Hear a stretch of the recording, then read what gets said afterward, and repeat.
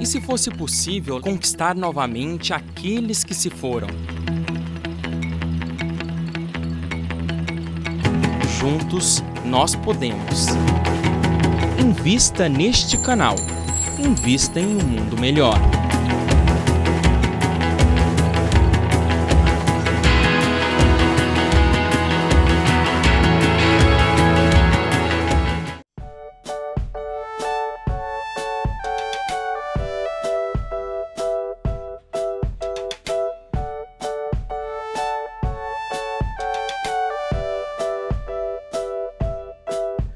Olá, hoje nós estamos aqui falando sobre a mediunidade de efeitos físicos, dando um enfoque à mediunidade de materialização, de materialização dos espíritos, embora os efeitos físicos sejam os mais variados: voz direta, escrita direta, ruídos, sinais luminosos, combustão espontânea, é, levitação é, é, é, de objetos, ruídos, enfim, são os mais variados. São os fenômenos físicos, perfumes, é, é, cheiro de, de flores, de éter. São fenômenos de efeitos físicos.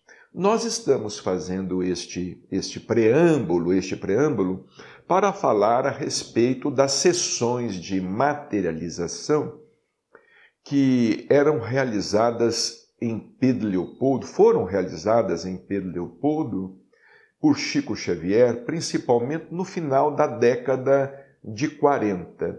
Algumas dessas sessões contavam com a participação de, de Peixotinho, Francisco Peixoto Lins, que é considerado um dos maiores médiums de efeitos físicos da história. Chico, inclusive, dizia que médium da, da, da capacidade de, de Peixotinho a, a, aparecia na Terra apenas de 200 em 200 anos. Quando Chico e Peixotinho eh, se juntavam em Pedro Leopoldo, os fenômenos de efeitos físicos eram extraordinários. Na década, no final da década de 40, eh, comecinho da década de 50, essas sessões foram realizadas apenas durante é, aproximadamente três anos. Claro, eu residindo em Uberaba ainda não havia reencarnado e não tive oportunidade de, de, de participar é, fisicamente dessas, dessas sessões. Mas é, colhemos depoimentos de, de, de, várias pessoas idôneas, como Joaquim Alves, o nosso Jô, já desencarnado, o senhor José Gonçalves Pereira, é, é, que foi é, fundador e diretor da Casa Transitória em São Paulo, e diversos outros amigos, e do próprio Chico Xavier, com o qual conversávamos a respeito. Essas sessões elas eram realizadas é, no Centro Espírita Luiz Gonzaga e muitas vezes também eram realizadas na casa do irmão de Chico Xavier chamado André Luiz, irmão do segundo casamento, seu pai, o senhor João Cândido, com Dona, Dona Cidália.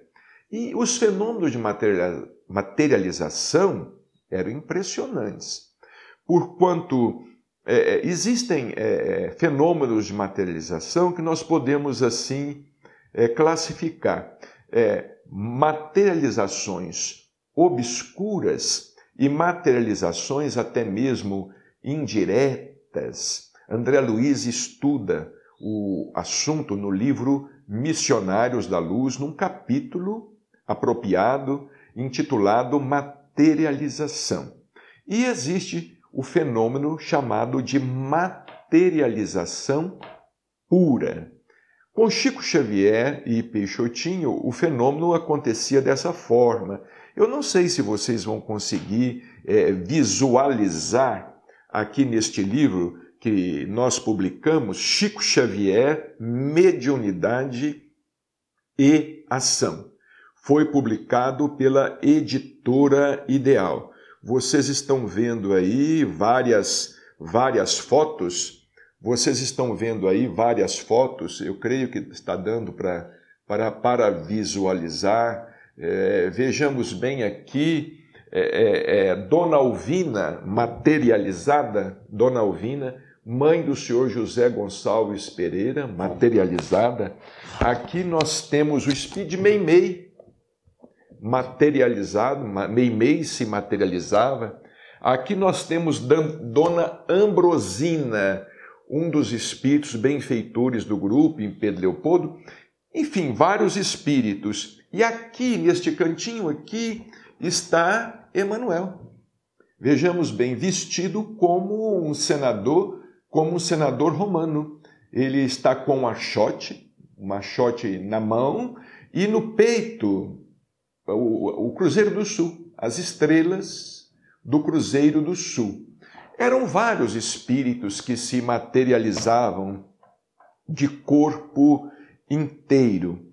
Esses, essas sessões elas foram realizadas é, durante muito tempo, repetimos, com a participação de Chico e Peixotinho. Os espíritos realizavam tratamentos durante as reuniões, traziam, traziam aparelhos, aparelhos é, é, médicos, digamos assim, aparelhos para submeterem algumas pessoas a tratamento, algumas pessoas doentes, portadoras de câncer, e de problemas cardíacos, os espíritos caminhavam de corpo inteiro, materializavam-se de corpo inteiro. Eram as chamadas materializações luminosas. Luminosas.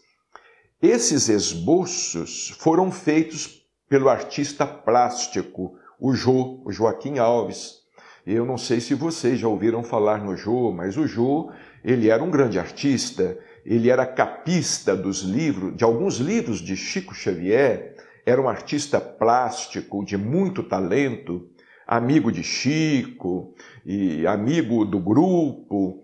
E ele, durante as sessões, porque os espíritos é, é, não permitiam, é, muitas vezes, que é, é, instantâneos fotográficos, que uma máquina fotográfica fosse utilizada por conta da luminosidade do flash.